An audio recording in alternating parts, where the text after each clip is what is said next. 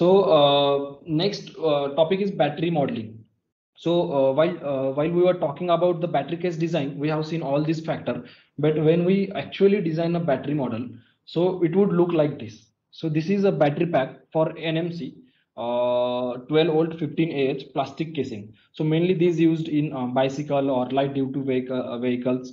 So here you can see uh, these are the NMC cells are uh, packed in a cell holder. These are the two cell holder at the top and at the bottom. Uh, so it goes into this casing. So these are the casing part, a plastic casing. Uh, here you can see the PCB. It is nothing but a BMS, uh, which is inbuilt BMS.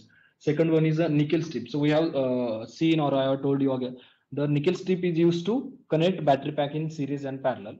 Uh, and again, we have seen here, it is a 4S 6P battery pack. So 4S means uh, the battery pack is connected in series, four uh, cell and six cells are connected in parallelly. It uh, gives you 12 volt 15 Ah. here is the uh, LED indicator which shows you the uh, I mean the remaining battery. I mean what how much capacity is remain in the battery pack. So it is a very simple structure inside here. You can see nothing. This is nothing but a casing contents of the soft casing uh, holded by the cell holder. We can easily design this but uh, whereas here you can see it is a battery uh, contain of 48 volt 200 ah in metal casing. Uh, these were the nmc cell but this is lfp uh, cell. We have seen it.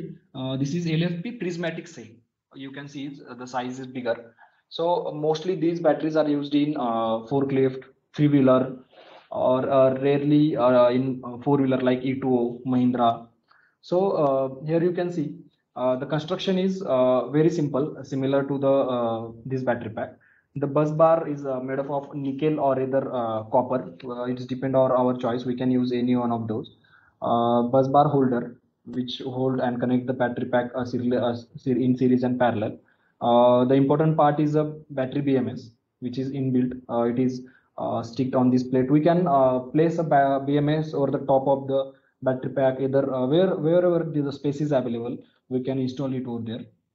Uh, here are the cell number of cells we can see. Uh, then there is the insulation pads has been given. It is made up of epoxy sheet which we were talking about the soft casing. It is used to avoid a short circuit or the contact between two terminal.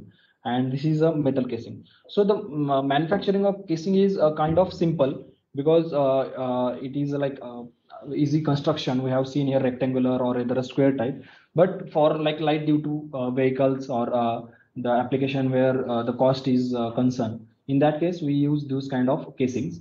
And this is a cold plate. So uh, it is also a type of, I mean, a cooling system. But here, the mostly cooling happens by the air. so it is air cooled. Both are the air cooled battery packs.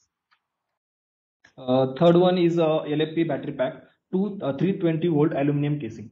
So it is a huge battery pack used in a four wheelers mostly like uh, uh, Tata Nexon, MG Hector. So those use this type of uh, casing made up of aluminum. So uh, we have to uh, make a molding for to uh, design to get this kind of casing. Here you can see this is a housing to hold a complete battery pack. The battery pack is nothing but also a number of cell. here you can see the cell module one, two, three, four, five, six. Parallelly there are six. So 12 cell models are connected in series and parallel to get uh, 320 volt so these are the prismatic cells so but uh, here in like four wheelers uh, the kind of electrical safety and the components used are uh, very highly proven and requires a high uh, voltage and uh, rating. So it can sustain the high current. So where you can see the cooling system is here. So here the cooling could be by a liquid or the heat exchanging uh, method we have seen where evaporator will be there to uh, take a hot heat from the battery pack and again will cool it and again will recirculate from this housing to uh, maintain a battery uh, uh, temperature uh, up to the certain level so when we put a completely battery pack this is the um, upper housing which will fix a battery pack by the screwing. And this is a lower body which holds a complete battery pack. So mainly these are installed in a floor uh, of the uh, four wheeler we have seen it in nexon mg hector which are uh, kind of fixed battery pack which cannot be easily removed. Only if you want to do some maintenance or if you want to change this cell module due to the unbalancing we can remove it So uh, this is nothing but uh, a cooling system given to the battery pack. It is a pouch cell. We have seen it. Uh, we have seen a Nexon pouch cell. Uh, it was a similarly like this. So uh, there are multiple cells, and here you can see the cooling is given by uh, coil, which is circulating on one side of battery pouch, and similarly from the other side, the heat, sorry, the cooled liquid will be transferred from here, and then it will be heated due to the heat transfer from the battery, and again recirculated to the cooling system evaporator, and again it will be cooled, and the same process will happen again and again. So it is mostly used in a four-wheeler or heavy-duty application.